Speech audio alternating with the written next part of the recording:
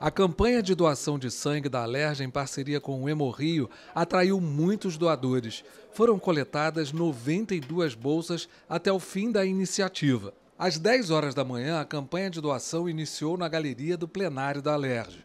A Carolina, que trabalha no departamento odontológico, já estava lá. Foi a primeira a participar e sabe que o gesto pode salvar vidas. Um pequeno gesto que pode salvar muitas vidas.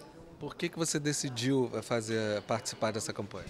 Porque o meu sangue é O negativo, é o sangue que mais pessoas podem receber. Acho importante e espero que influenciem outras pessoas a doar também. E pouco a pouco outros voluntários foram chegando e se uniram à corrente de solidariedade. Essa é uma corrente de solidariedade. Estou muito feliz de estar aqui, é a segunda vez que eu dou o meu sangue eu acho assim fundamental, porque eu tenho certeza que o meu sangue vai ajudar muitas vidas. Parlamentares também vieram dar o exemplo. A deputada Franciane Mota acredita que a atitude pode contribuir para sensibilizar outras pessoas a fazerem o mesmo.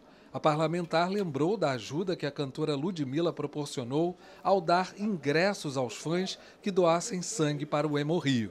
Essa foi uma das causas de eu dar uma medalha à cantora Ludmilla, que através daquela ação, acho que o banco de sangue não teve tanta doação de sangue através da atitude dela, de quem fizesse uma transfusão de uma doação de sangue ganhava o ingresso para o show.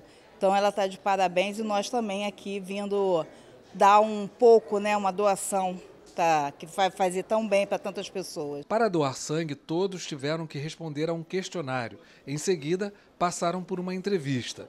Com tudo ok, a última etapa era a coleta do sangue nas seis cadeiras disponíveis para o procedimento, que não chegava a 10 minutos.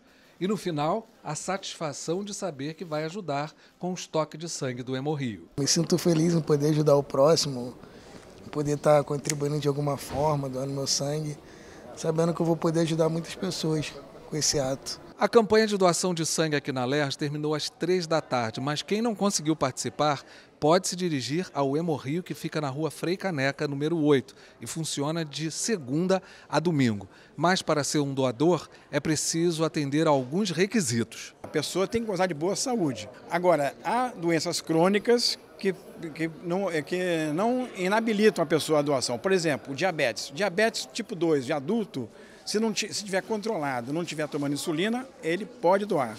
Hipertensão arterial também pode, salvo se ele tomar é, um, um, remédio antipertensivo que seja um beta-bloqueador.